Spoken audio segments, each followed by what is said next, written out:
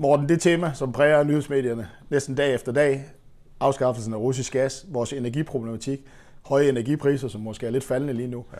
Men du har, været, du har prøvet at kigge lidt på det her område, og, og, og hvad er problemet egentlig? Vi, vi har måske underinvesteret i, i vores energi, men, men nu står vi foran med, skal, skal investere en masse i grøn energi. Kan det løse problemstillingen? Øh, altså, vi har jo lang tid plæderet for, at det ikke nødvendigvis er den eneste løsning, faktisk ikke den rigtige løsning, og at det måske er en lidt naiv tilgang til den her energitransition, som faktisk har foranledet den situation, vi befinder os i. Fordi vi har haft en antagelse om, at vi kunne udfase de fossile samtidig med, at vi kørte de vedvarende energikilder op. Og det er det, der er gået galt. Og, og grunden er sådan helt basalt forskel i energidensitet øh, eller tætheden af energikilderne. Der er meget, meget mere energi per investeret kapital i fossile, end der er i, øh, i vedvarende energikilder. Og vi har simpelthen ikke investeret nok i de vedvarende for at kunne kompensere for faldet i investeringer i fossile. Og det har vi stået på nu siden i hvert fald 2015, og de her ting, de akkumulerer. Og det kommer til at tage rigtig, rigtig lang tid at kompensere for de historiske fejltagelser, vi har gjort. Den situation, du beskriver her, den, den er jo svær at se på markedet lige nu. Vi har, vi har faldende priser på, på energi. Godt nok ikke lige, ja, faktisk også det europæisk gas på de her reguleringer der. Men er, er det markedet, der ligesom priser en recession ind, og, og ikke at vi er ved at finde en øh, langsigtet løsning på den her problemstilling? Altså i forhold til, for, øh, hvis du sammenligner priserne i dag med alt andet, end hvad priserne har været den sidste måned eller sådan noget lignende, så er vi på ekstremt høje niveauer stadigvæk. Men det er rigtigt den sidste måneds tid, at priserne sat sig. Øh, og det er altså på gas og på strøm. Øh, og øh, det er sandsynligvis, fordi vi begynder at se en betydelig grad af det, man på populær dansk kalder demand destruction, altså destruktion af efterspørgsel på energi, simpelthen fordi den økonomiske aktivitet er aftagende. Og vi har fået masser af pressemeddelelser fra store energiforbrugende virksomheder i Europa, hvor de annoncerer, at de lukker produktionen, for de kan simpelthen ikke få tingene til at fungere. Og det betyder jo mindre energiefterspørgsel, og det betyder på marginalen, sammen med de her ting, som kommer fra EU omkring regulering af vores energimarkeder, at der er en stigende usikkerhed om, hvad er prisniveauet egentlig på energi fremadrettet i Europa? Hvad er efterspørgselen, og hvad er øh, prisen? Vi skal have balanceret udbud og efterspørgsel, og det er det, der er ved at ske i øjeblikket. Men desværre ikke, fordi vi øger vores produktion, men fordi vi nedbringer vores efterspørgsel. Så, så det, det vi ser nu, det er altså, altså, altså det du også beskriver, at der er kun én mulighed, øh, sådan kort sagt, hvis vi skal blive uafhængige af russisk gas, og det er at bruge mindre af den. Altså vi kan ikke investere os til, på, på den korte bane til, at, til at, at få mere balance. Altså vi har slag på tasken, har vi fået cirka en tredjedel af vores gas fra Rusland. Og det går i nul. Øh, det skal gå i nul. Øh, hvis ikke frivilligt, så fordi russerne gør det. Øh, og det skal vi så finde løsninger på, og der er flere forskellige løsninger på det. Dels skal energieffektivitet selvfølgelig øh, bidrage betydeligt. Vi skal gøre tingene bedre med mindre energi. Det kan man blandt andet gøre ved at elektrificere mange ting, for eksempel sådan noget som transport, den lette transport. Øh, vi skal øh, selvfølgelig investere meget mere i energiproduktion i Europa. Det tager lidt tid, men det er også uundgåeligt, at vi bliver nødt til at importere masser af den gas fra andre kilder, end dem vi nu siger fra overfra. Og det betyder jo først og fremmest øh, LNG-markedet, hvor Europa har støvsuget det globale marked for LNG, hvilket har resulteret i ekstreme priser. Øh, vi er godt nok nået i mål med at få fyldt vores gaslager op til vinteren i Europa, men prisen har været helt ekstrem. Og det er det, der afspejler sig nu i en reduceret økonomisk aktivitet i Europa, og med ekstrem stor sandsynlighed en relativt dyb recession i Europa i årene fremover. Så hvis svaret ikke er, at vi kan, vi ikke, altså, det, det, det står jo ret tydeligt, at energiinvesteringer, det må, der må investorernes penge skulle søge hen. Øh, men svaret er måske, øh, det er ret svært måske lige helt at finde ud af, hvor det er, de skal søge hen. Hvad, hvad er jeres tilgang til, til investeringer inden for energi? Har I øget jeres andel inden for det område?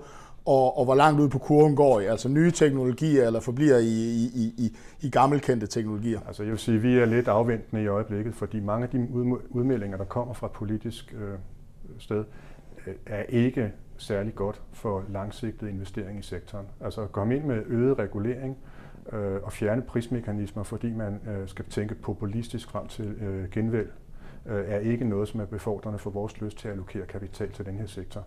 Så det, som de europæiske politikere øh, primært fokuserer på, nemlig er at reducere det, som den almindelige forbruger skal betale for energi, er jo ikke befordrende for at adressere det langsigtede strukturelle problem, nemlig at vi skal have mere energi i markedet. Øh, så det er et kæmpe problem, synes jeg, kortsigtet for en langsigtet investor. Det er ikke noget, som giver tillid til, at man er i stand til at udvikle de, de, de rette strukturer i markedet, som skal bibringe den fornødende kapital, som skal øge vores produktion.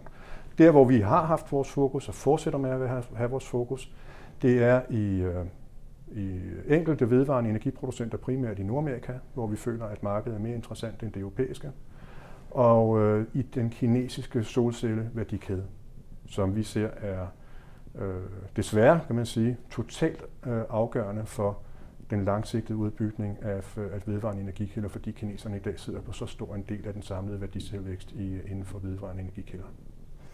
En anden problemstilling, som, som det her det skaber, at du er lidt pessimistisk på, at vi, vi kan løse det her andet ved at dæmpe den økonomiske vækst. Så får vi nok energi, så går økonomien frem igen, så mangler vi energi, hvis dit ja. billede af, af verden der er der. Betyder det, at du også ser en verden måske frem mod de kommende år, hvor, hvor, hvor de økonomiske cykluser de simpelthen bliver kortere? Altså vi kører for hurtigere varm, end ja. vi har været vant til? Altså det billede, jeg har tidligere har beskrevet, det er jo i modsætning til det, som vi har oplevet de sidste, siden finanskrisen, hvor vi har haft den længste økonomiske opgangsperiode i verdenshistorien. Fra 2009 til 2020, hvor vi gik ind i corona. Øh, modsætningen kommer til at være 2020'erne, som kommer til at være meget volatile. De kommer til at være store fluktueringer i den økonomiske aktivitet og i prisniveauer. Øh, sandsynligvis også desværre i arbejdsløshed, men måske ikke så meget i arbejdsløsheden som i den økonomiske aktivitet og i priserne. Og, og mekanismen her er, at det er den fysiske verden, specielt øh, råstoffer og i særdeleshed energi, som til, kommer til at sætte øh, begrænsningen for økonomisk vækst indtil at vi får readresseret de ting, som vi har skabt af problemer for os selv over de sidste 10 år med den forfejlede energitransition, som verden har forfulgt. Og noget tyder jo på, at verden vil gerne give dig ret. Den mest på bedst performende sektor i år, det er energi. Anden, det er grøn energi. Og den tredje, det er stabile aktier. Altså selskaber, der kan klare sig godt, ja. uanset den økonomiske cyklus.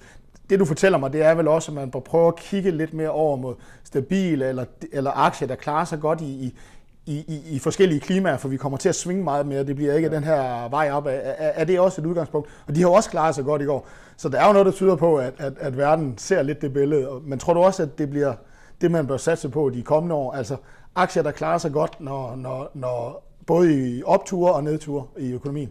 Ja, altså vores holdning er, at det er meget, meget svært at ramme markedet rigtigt, hvis du skal springe fra hvad skal jeg sige, isflag til isflag hele tiden og, og reallokere din portefølje i forhold til, hvordan vindene nu blæser det her kvartal. Og det kommer til at være meget sådan øh, i, i den kommende periode, eller i kommende år, at tingene, som jeg sagde, svinger meget. Øh, så vores holdning er i stedet for, at vi vil fortsætte med at gøre det, som vi altid har gjort, nemlig prøve at finde de her selskaber, som ikke er afhængige af den økonomiske vækst i samfundet, men som vokser inden for deres egne nicheområder. Øh, altså det bedste eksempel i Danmark, nu må jeg ikke nævne navn, men det gør vi jo alligevel, for I kan se, hvad vi har i porteføljerne. Ikke? Men det er sådan noget som, som, som øh, øh fedmeeksplosionen i verden, som driver en, en forretningsmodel som Novo Nordisk. Øh, der er intet, der kan ændre den af økonomisk karakter. Øh, den kører på, den historie. Så kan man diskutere, hvad skal man betale for den aktie. Men det langsigtede billede for selskaber, der er eksponeret til for eksempel fedmeepidemien, øh, sukkersyge etc., kommer til at være meget konstruktivt. Det samme kan man sige sådan noget som cloud computing, som også kommer til at vokse, uanset hvad der kommer til at ske.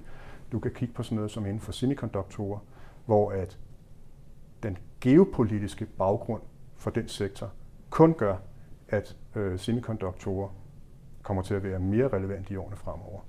Øh, oven på den historie, så har vi selvfølgelig hele den teknologiske acceleration, som kører på. Ikke?